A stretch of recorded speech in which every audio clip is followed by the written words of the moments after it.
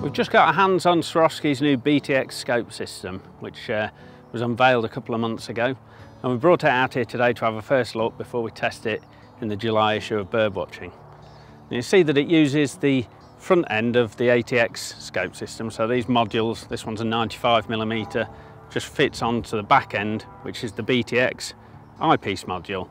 And you straight away see that the revolutionary thing about it is that it's got two eyepieces. So in theory, you've got binocular vision exactly if you, as if you were using a pair of binoculars. Um, there's no zoom on it, but you can buy a magnification extender, which takes things uh, up, but I think 1.8 times. It's got the usual Swarovski um, helical focus, as I say, with the ATX module. There's a couple of nice little extras here. There's a sighting device, which so far I've found a lot more useful than the, the type you usually get on scopes. And you've got this forehead rest, which uh, in theory just makes things a bit more relaxing when you, you're viewing for any length of time. If you don't like them, you can take either of those. You'd note the forehead rest right down, take the sighting device off, so it's not a big problem. Um, Mike, you've just been having a first look. Yeah. What do you think? Well, I, I think the key thing of, about the whole system is it's all about relaxation when you're bird watching. Uh, one of the one of the complaints that people have about normal telescopes where you use just one eye is it can be a bit stressful just a bit too much strain, just trying to look through one eye, keep the other one open or cover the other one up or close it.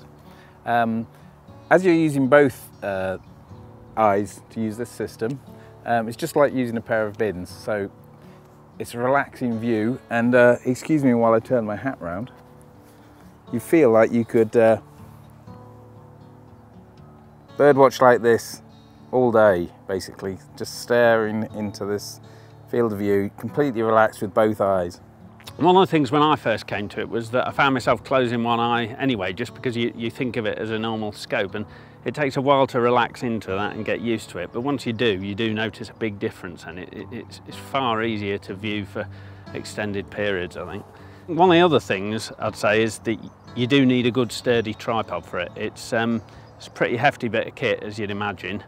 So to get the best value from it, you want something that's not going to wobble all over the place. Uh, and I mean, this is a, a really good solid tripod.